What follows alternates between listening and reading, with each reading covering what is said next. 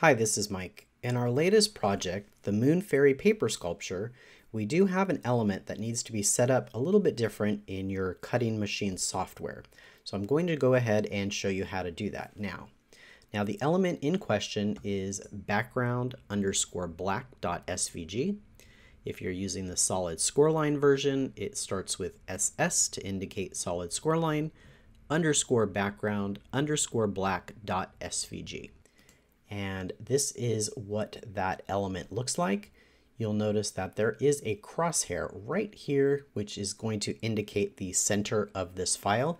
And this is what we are going to want to center. Now I'm first going to show you how to do this in SureCuts-A-Lot, followed by Cricut Design Space, Silhouette Studio, and then Canvas Workspace. So let me turn on my grid lines so that you can see this. And we're going to be centering this into the six inch mark of our software. Now, I want to preface that this is the only thing that you need to do differently with this file.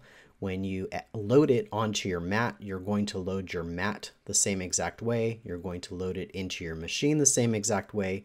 The only thing we need to do is make sure that this element is centered on your cutting machine software.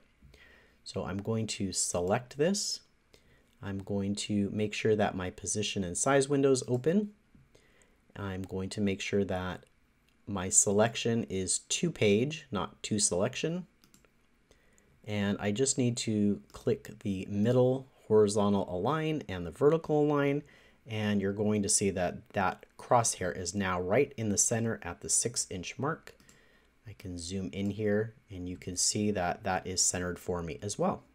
So now this one is ready to cut.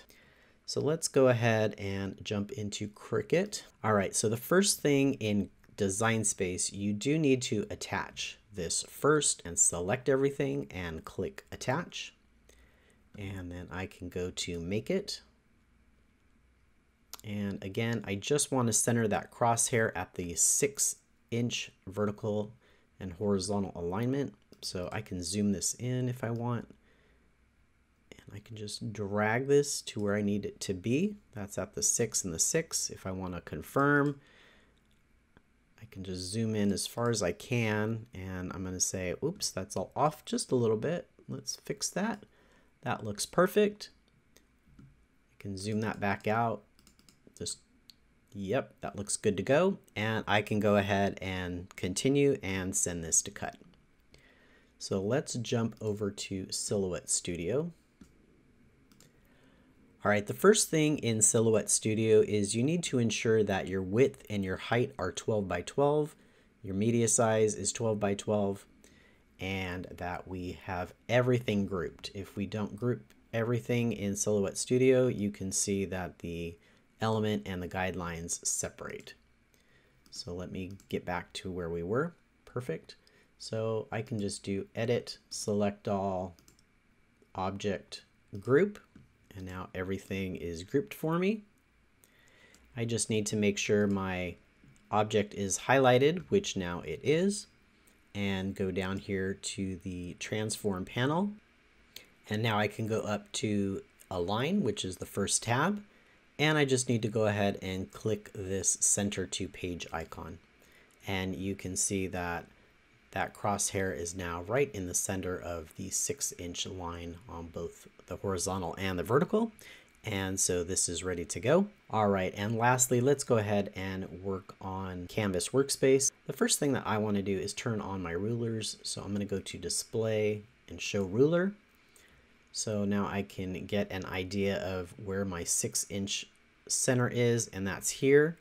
I've also clicked on artboard, which is the last icon, and I changed my grid spacing to one, just so that this area right here was directly in the six inch mark.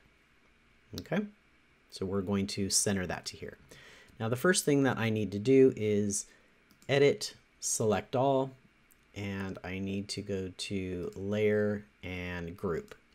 If I don't do this, then my layers will separate and that's not what we want. All right, so now all I need to do is move this to that, that crosshair to the center mark here. So at six and six, I know that this area right here is where I wanna go. And I'm just going to drag that down. And I can zoom in as far as I need to go. So I'm a little off. And you're going to get this as close as possible. I think I need to go up a little bit.